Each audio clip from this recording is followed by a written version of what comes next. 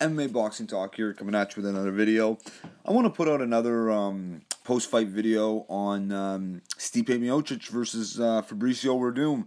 Last night, Stipe, you know, um, got a first-round KO against Fabricio Werdum.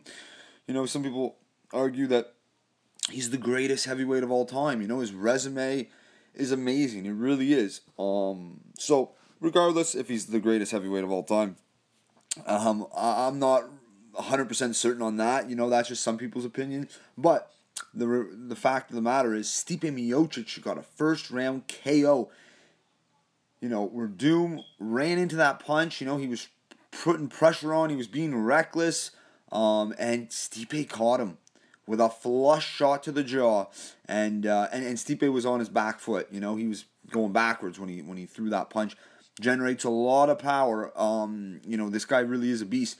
Now, last night I was um, I was in Kingston, um, going pub hopping, and um, anyway, I was my cousin's bachelor party, so we were out in Kingston going to the bars, and uh, so you know, I didn't really get a good chance to uh, put out a a longer video. I think I put out a video. It was like forty seconds long last night on the street outside the bar.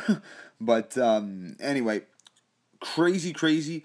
I actually, you know, if you go back and listen to my prediction video, it's it's a long one, but uh, I I predicted Stipe to win. I predicted him by KO, um, or TKO in the in the third round. I said, uh, but I said in the end, I think he's gonna he's gonna stop him. Uh, he's gonna stop Werdum, and uh, he did, and he did it in the first round. I can't believe it. I think it was two minutes and forty seconds into the first round. Um, you know, Stipe looked great. Uh, Werdum looked great up until that point, you know. Now, Werdum hit him, you know, hit him with a nice few shots to the head. Um, you know, he was he was landing a few shots. He was landing some kicks. Stipe was also, you know, uh, checking a lot of those kicks. Um, and he was doing a good job of that. But um, but yeah, you know, uh, Werdum tagged him a couple times. Showed Stipe's got a great chin. Um, he's a very tough guy and uh, you know, and right before um, Stipe put him away for good, you know, he caught him with one, and um, you know, Werdum stumbled just a tad, and uh, he kept marching forward, putting on that pressure. And uh, like I said, Stipe on his back foot knocks him out. I can't believe it. I'm, I'm thrilled. Um, you know, I predicted this, and um, it's nice to see you know the underdog get a knockout and, and, and grab the belt. Um, super happy for Stipe. Great character guy. Um, hard worker. He's uh, tremendously. His cardio is phenomenal. He's a great boxer. I mean, the guy's got 11 KOs in 15 fights. Nobody really talks about him a whole lot, but um, I had a feeling he was going to pull this off and he was going to do it by knockout. And, um, you know, now what's next? Personally, I say, you know, fuck Cain Velasquez and uh, Travis Browne you know what I mean? Because personally, Stipe might be ready to go in in August, in September, or something like that. You know, maybe even in July. But the thing is, is that I think Overeem, Alistair Overeem, can get in a fight in you know around the summertime. So why don't you match those guys up? Stipe and Overeem, they've never fought. Overeem deserves a title shot. Um, you know, and why wait? Why wait till UFC? Why wait till July to figure out the next title fight? You know what I mean? If Stipe, you know, doesn't get a medical suspension, which I can't see that happening. I mean, he didn't really take that many. He took a few shots, but nothing serious. Um, so I mean, he should be ready to go. Alistair Overeem just had a. He didn't even get touched against. Um, uh, you know. Arlovsky. I mean, Arlovsky had a one flurry at the beginning of the fight, but nothing really landed too too heavily. Um, so so you know, Stipe and Overeem, they sh- they could be ready to go. Eh, you know, what about UFC 202 in August? You got Conor McGregor and uh, Nate Diaz on that card. That's the rumor. And uh, hey, maybe even Nick Diaz versus Carlos Condit or whoever else. But have both Diaz brothers have you know the heavyweight title on the line. Stipe versus Overeem, and you know then, if you want, the winner of Cain Velasquez and Travis Browne can get the next title shot.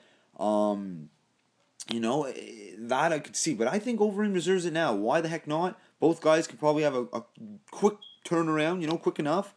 three four months, fight again. You know, fight in the summer. Uh, you know, even if it's August, September, whatever. Um, and you know, also you got to think about Junior Dos Santos. You know, um, had a great win over Big Ben Rothwell. You know, fought a different style, a smarter style. He boxed more. Um, and you know, he um, he has a win over Stipe Miocic. Now that was a very close fight. That's to me Stipe Miocic. That was his real coming out party. Um, because you know, nobody thought he could go five rounds with uh, Junior Santos, or you know, maybe some people did, but not too many. Uh, he was a huge underdog in that fight, and you know he landed a lot of shots against Junior. He had a good fight. I mean, uh, it was a close, close fight. It could have went either way, but I mean, I understand they gave it to Junior. Um, but it was very close. It was a tough fight for Junior. So anyway, uh, that fight could be later down the road as well. Um, and I, you all, everyone knows Junior Dos Santos would love to get his revenge. Uh, not revenge, but get the belt again. Um, and Stipe would want to get his revenge at being the champ. You know, uh, defending his title against a guy that beat him. If he can get past Junior, that would be a great win for Stipe. So I mean, uh, lots to look forward to. Um, uh, but uh, but like my buddy said, you know, the UFC it has to the heavyweight division has to get rolling. You know, fuck Cain. I'm sorry, I like Cain, but honest to God, the guy is always hurt. Okay, always fucking hurt. Who even knows if he'll make it to UFC 200?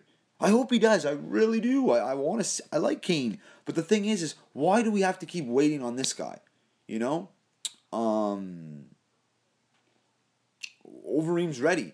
You know, and Overeem, no one, no one really likes Overeem too much. You know, a lot of people don't like him, but he deserves the title shot. I mean, uh, have do it in the meantime.